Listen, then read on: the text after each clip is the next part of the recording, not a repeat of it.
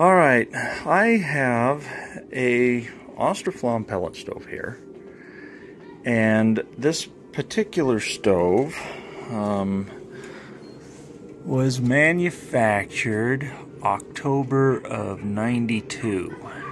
Dad, we got the power brick. Out of the way.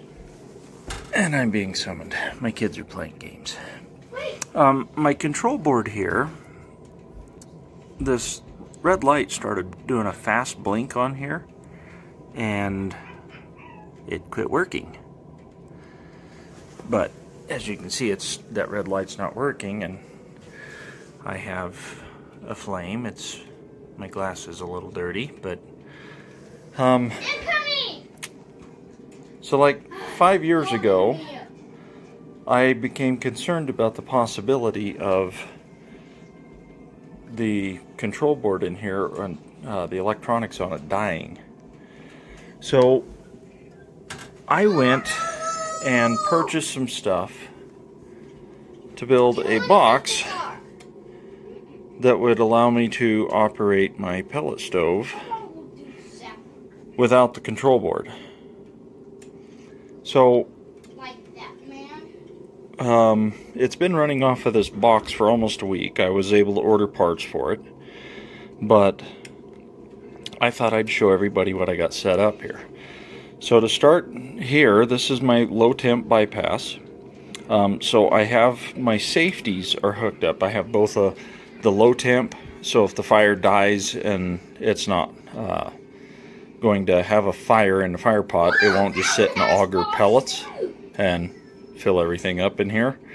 And you also have a high temp, that way if the fire is too big, um, it'll shut the auger motor off. So both of those are hooked in in line with the auger motor, and they both have to be um, in a running position. The low temp actually has to be up to temp before it will work. So you have to have a bypass timer to get it up um, to temperature. So you can just dial this over here like the um, 10 15 minute range, um, depending on where your timer is, and give yourself enough time to get the to- stove up to temperature. Oh, Um, so the convection fan is for my um, the convection air, which is your hot air that comes out. And this wasn't the greatest idea. It doesn't work at all on lower medium, high and max, and high barely runs it, and max blows quite a bit. It, it actually turns it on on. Um, I would go with the dial style, um, like a dimmer switch for a light. That's what I got here. Um, this was for a ceiling fan, so have your fan speeds and then your light. And I was like, well, maybe this would work good.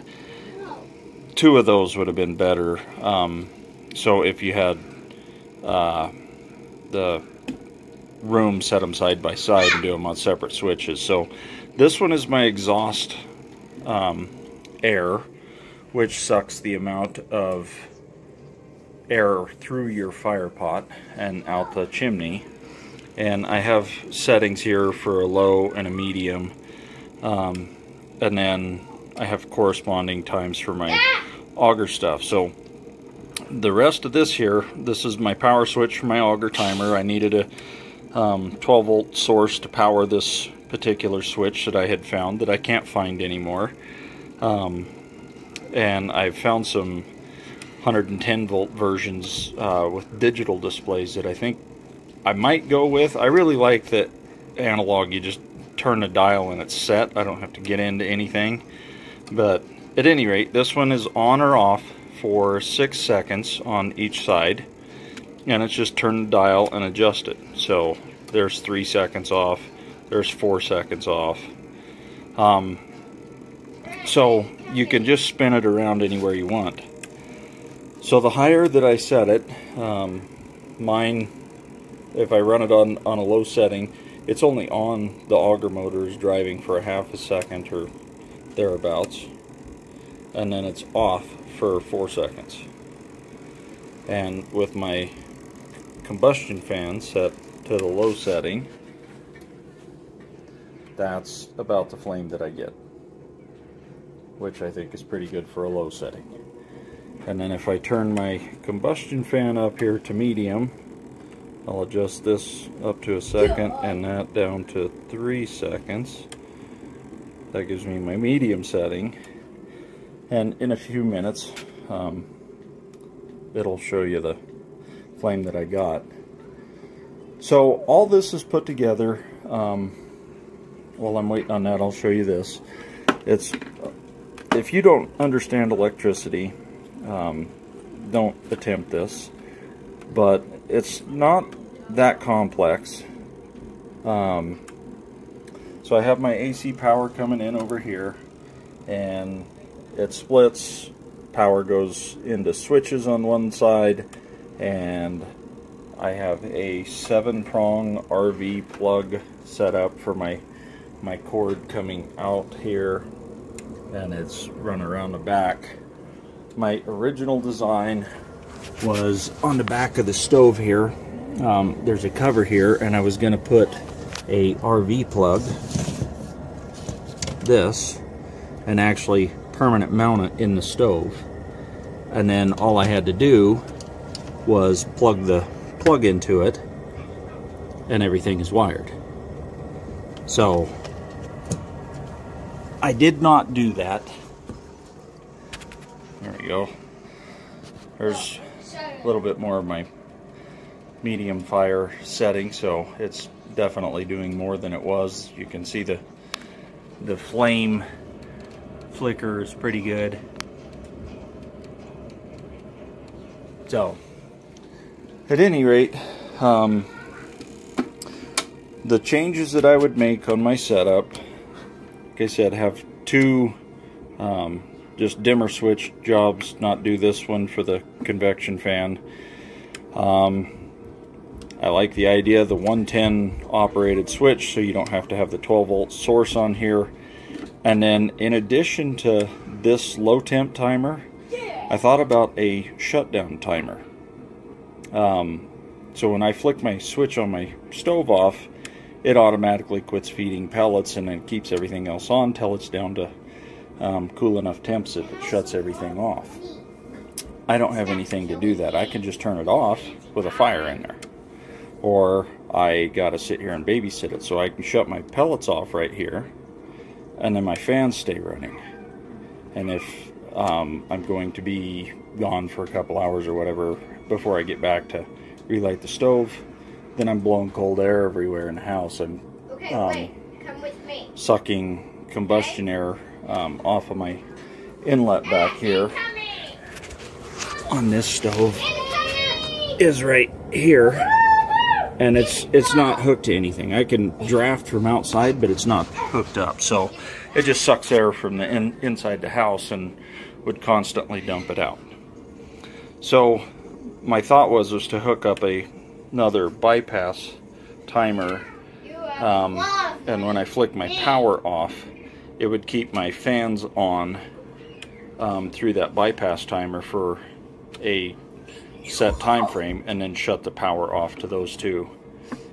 So I will try and draw a uh, schematic about how to do it. Um, and like I said, this piece I was unable to locate anymore. Um, I bought it off of Amazon and it tells me currently unavailable but there are the 110 units that I have seen so I will put a photo up here in a second and then a um, link to the digital timer in the description. So this is the list of stuff that's on Amazon. The RV plug, the top two, the project box, a five gang wide box to mount my uh, dial switches and a the timers and stuff like that. The five gang plate.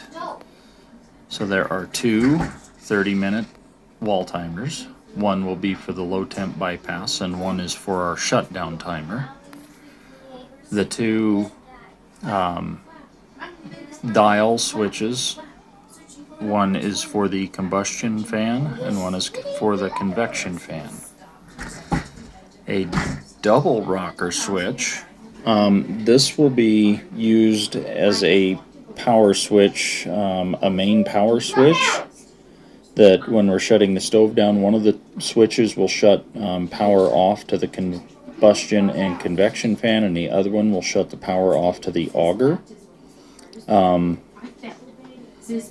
and that will be need to be separated because we have that uh, timer on the combustion and convection fan and if I turn this timer on the way I have it wired it would backfeed and run the auger without a secondary switch on it so we need that double throw switch and then the um, timer for the actual auger cycle time this one plugs into 110 as opposed to what I have so um, I will snap a photo of my schematic and we'll try and explain this.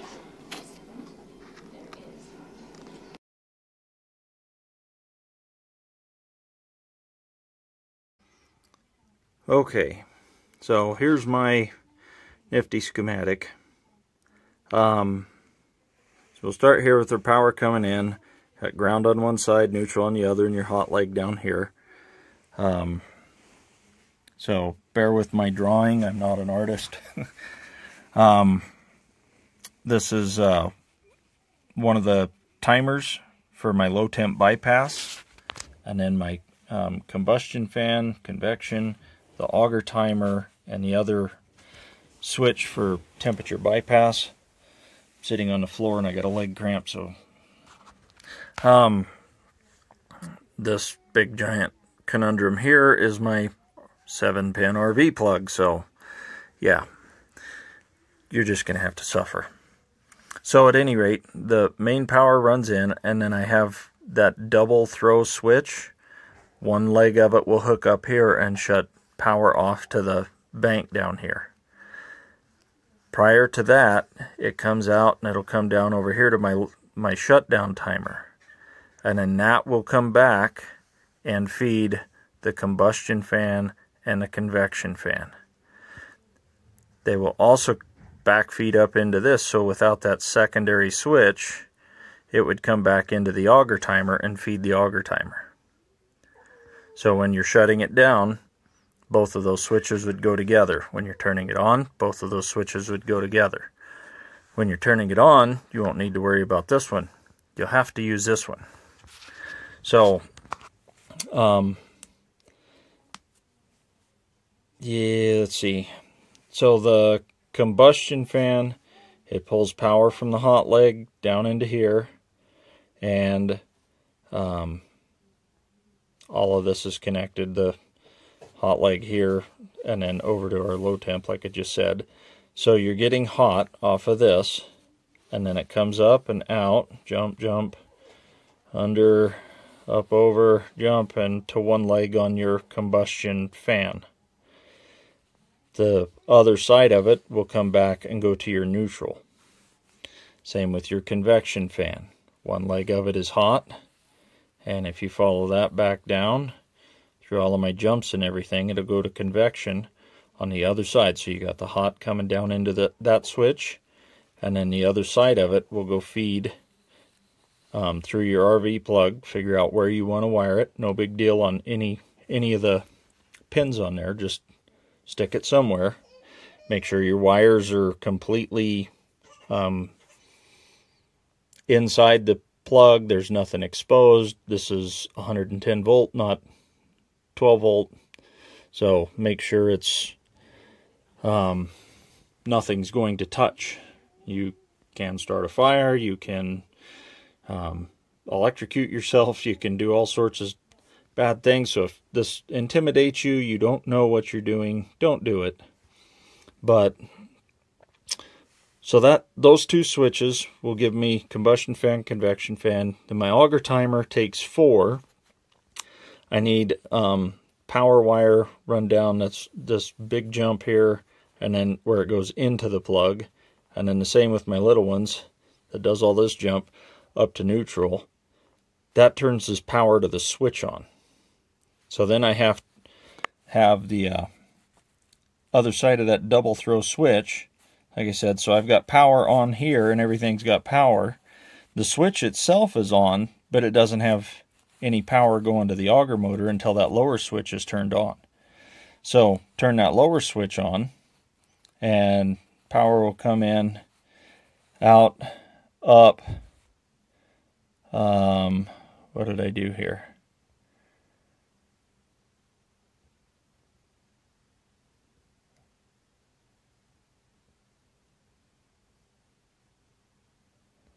Let me see.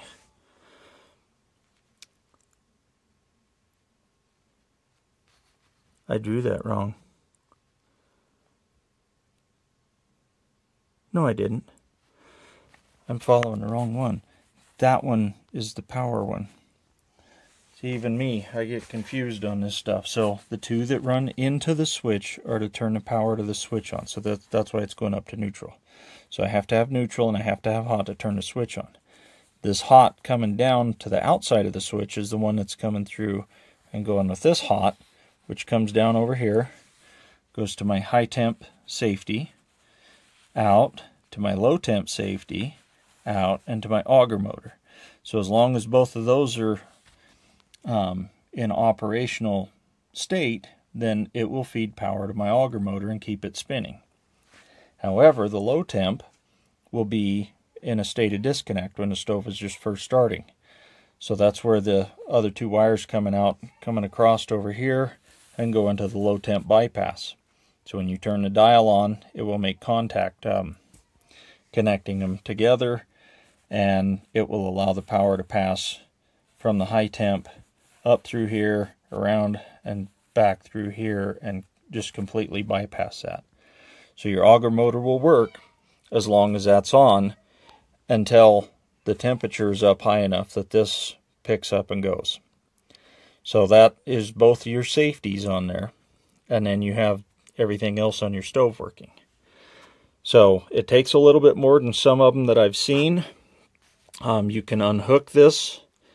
The only concern um, is the possibility right now of you backfeeding into the computer on your stove. So depending on what is wrong, if your control board went out, you shouldn't have any problems. But if you can unplug stuff and just take the wires and plug into, um, just to eliminate the possibility of backfeeding and something else going wrong, this will run your pellet stove.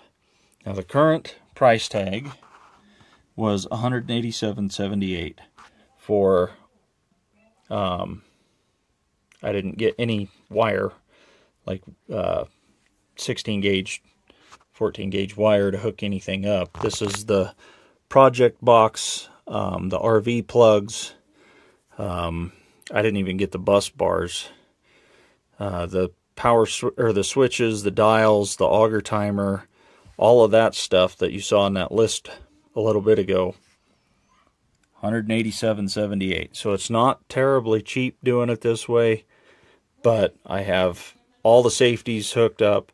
I have um, the ability to start it up and shut it down somewhat like it should be, and the finesse control that um, I think the pellet stoves need. So, and then going through on your um, seven prong plug, um, one, my ground wire here runs out, so that's ground. I have the neutral leg um, coming back. My flash just turned off and it is goofing with me. So neutral coming back.